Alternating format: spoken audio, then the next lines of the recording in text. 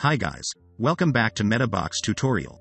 Today, I am going to create an online reservation form for restaurants which allows customers to choose a set of food or private room and also know about the total amount in advance. I am using the MetaBox plugin and installed it. You can install and activate it directly from the dashboard.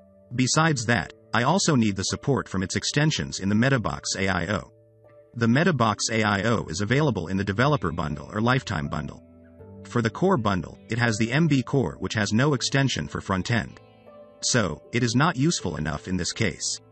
To see and activate the extensions we want in the MetaBox AIO, go to Extensions. Please make sure that you've activated these following extensions already by the ticks, MB admin columns, MB custom post type and custom taxonomies, MB front-end submission. This extension is available in just MetaBox AIO, not in MB core. That's why we need MetaBox AIO here. Next, MetaBox Builder and MetaBox Columns. Okay, now, go to the stage. We need a custom post type to save the reservation information. For the details of creating a new custom post type, we've had a tutorial in this channel, please take a look. Each reservation will be saved in a post in this post type and will display in the list here. I have made a field group for the reservation in advance. For the details of creating and configuring custom fields, please refer to the video I suggested above. Let's look at the details of each field settings. I set this ID like this to make this field as the title. The set lunch field is in the select advanced type, so it has the choices section. Here is the place to put the options for selection. On the left of the colon, this is the value of the option, and I set the price of the food set here. On the right, the label of the option is the name of the set as well. I did likewise in the private room field with the prices and names of the rooms. As you know, restaurant owners usually want to see all the reservation information right from the admin screen. So, I will display these fields as the admin columns by a tick here. This setting is provided by the MB admin columns extension. When you tick this box, some others will appear for further configuration. You must choose an option in this column position section. For others, they are optional. Furthermore, I also want the fields displayed into two columns in the form, so I change the number from 12 to 6 here. This setting is provided by the MetaBox columns extension. I've interpreted it thoroughly in the tutorial on creating an online admission form. Please dig in there to know more about the principle. For other fields, I set them as the admin columns and 6 in the columns setting as well. Lastly, remember to go to the Settings tab and choose the post type we've created in the Location section. Back to the Reservations post type. Here are the fields as the admin columns. And, here is the form, in the backend, with two columns. I have a page for the reservation. It's blank now. I want it to have a different look from the other pages on my website, so I'll create a new template for it. In the template folder of the theme, create a new file with this code. Here is the name of the template. Pay attention to these classes. I create them to define the two columns for styling later. The content section will be on the left. And, on the right, is a sidebar.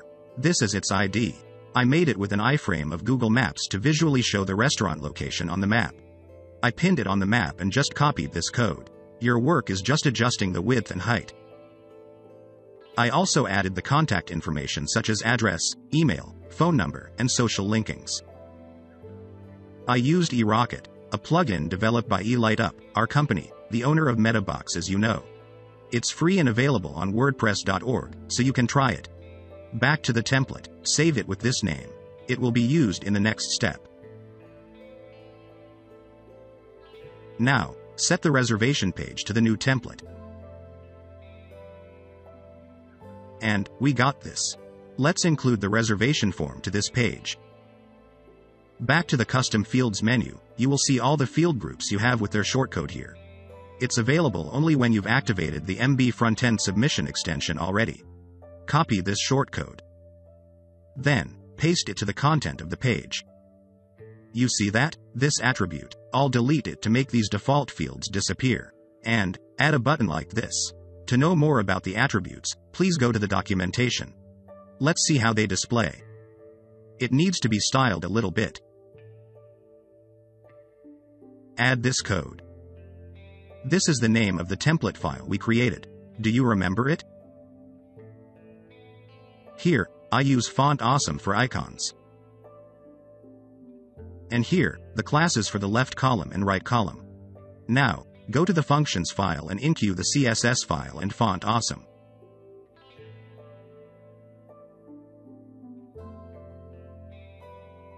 Refresh the reservation page, we got a new look here. Such a better look. I'm filling out the form. But, the amount still is zero. To make it run, we must use code. Back to the functions file. Add this code. This is a hook to create an action named total. This is the function to load the values of all the variables, and then put them into the following formula. These are the variables that are loaded. This is to check if the variable has any value. If it has, the value will be admitted. Otherwise, the variable will be applied to the default value, in this case, it is 1. You can set the default value as you want. This is to return the value of the total variable in JSON. It is calculated by this formula. But, you know what? Every variable has no value but the default one so far. I must create a JS file in the JS folder. This code is to recognize the options chosen by the customer on the reservation form by the IDs of the fields. Then, assign the values of those options to the corresponding variables. After that, perform an AJAX request to send the data of those variables to the total action that we have created in the functions file. This is to set which variable in the action receives the value. This is the URL of the AJAX. If the request succeeds, this will call the value returned by the functions file then print to the custom field which has the ID as amount. Next, we need to go back to the functions file to enqueue the JS file and URL of the AJAX.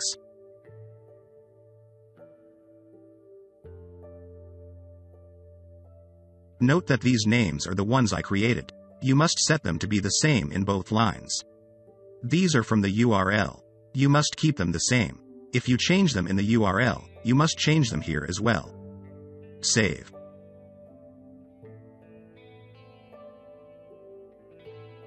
And now, enter information into the form once again. You see, the amount changed, so, I'm done. What do you think? If you find this tutorial helpful, like this video and subscribe to our channel for more upcoming tutorials. Bye.